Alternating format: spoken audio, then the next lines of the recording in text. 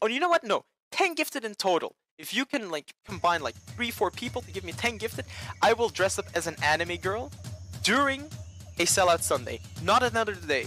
During a sellout Sunday, I will do it.